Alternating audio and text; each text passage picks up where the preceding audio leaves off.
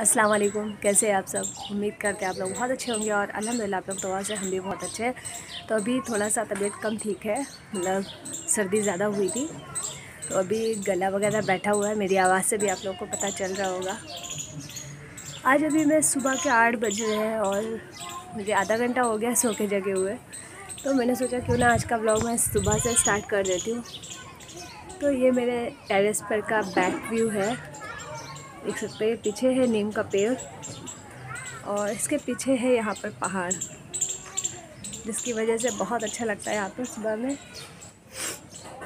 और आज मैं ना आपको कुछ दिखाने वाली हूँ, हमारे यहाँ ना घर पे एक चिड़िया का घोंसला बना हुआ है, उसमें उसके बच्चे हैं, वो आती है, दाने चुनाती है और चली जाती है। देखो अभी भी वो वहाँ पर बैठी हुई है। मैं सुबह से वही देख रही थी, मुझे बहुत अच्छा लग रहा था तो मैं इधर ही बैठी थी तो मैंने सोचा, चलो फिर आप लोग को भी दिखाई देती हूँ। चलो मैं दिखाती हूँ आपको।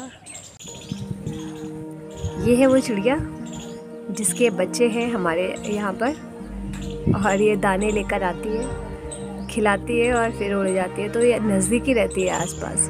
अभी ये सामने वाले घर है, उनकी छत पर बैठी हुई है, रेलिंग पर।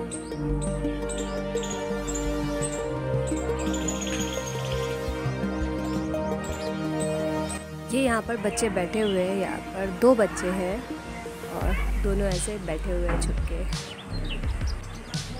और ये चिड़िया आई है दाने चुना रही है। देखिए ना कितना प्यार से दाने चुना रही है, कितना अच्छा लग रहा है।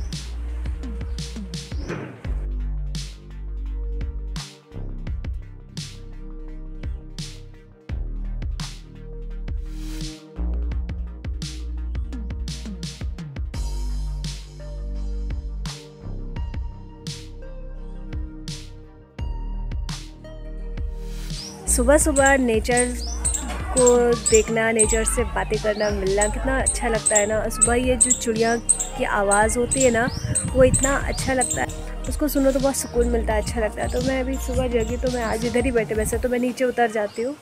और हम लोग सोने के लिए ना छत पे ही आते हैं, क्योंकि नीचे बहुत गर्म होती है और ऊपर ठंडा रहता है रात में तो हम लोग टेरिस पे ही आते हैं सोने के लिए। आज सब लोग तो उतर गए, मैं इधर बैठी हूँ, आज मैं बैठी हूँ, मैं उतर के नहीं गई नीचे।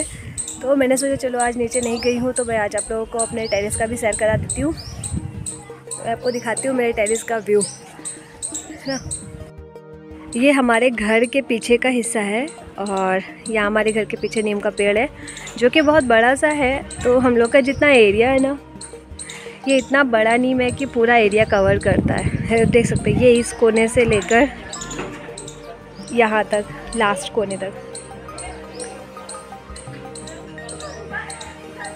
और यहाँ पे बहुत अच्छा लगता है। और ये पीछे है पहाड़। ये कानपुर का पहाड़ फ़ेमस है। तो ये भी सुबह देखने में बहुत अच्छा लगता है ये, और शाम को भी। और इसके पीछे ना यहाँ पर गंगा है। तो वो मैं कभी अगर जाऊँगी तो मैं आपको ज़रूर दिखाती हूँ। क्योंकि पहाड़ के जस्ट पीछे है।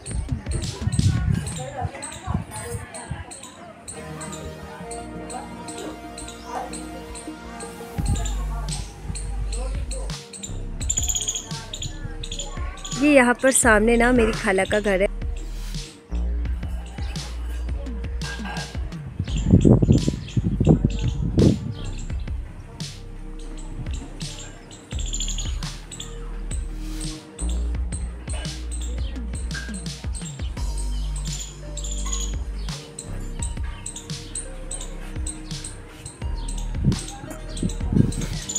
आप लोग को भी आवाज़ आ रहा होगा ना, चिड़िया कितना बोल रही है।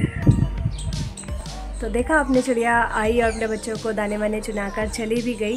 और हम लोग ना ऐसा दूर से ही देखते हैं, दूर से ही फ़ोटो, वीडियो बनाया मैं नज़दीक नहीं गई क्योंकि नज़दीक जाऊँगी तो बच्चों, बच्चे डरेंगे।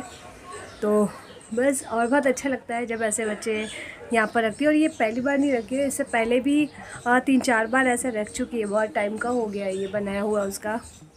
और हम लोगों ने हटाया भी नहीं। ये घोंसला करीब दो ती, तीन साल से है यहाँ पर और हम लोगों ने हटाया भी नहीं। वो जब से वो जब भी होता है वो इधर ही अंडे आके देती है और यहाँ पे ही बच्चे अपने बड़े करती है फिर लेके उड़ जाती है। तो बस ऐसा था और कैसा लगा आपको मेरा ब्लॉग कमेंट में ज़रूर बताइए। फिर मिलते हैं नेक्स्ट व्लॉग में। जब तक के लिए अल्लाह हाफिज़। खुश रहिए खुशियाँ बांटिए दुआ में याद रखिए।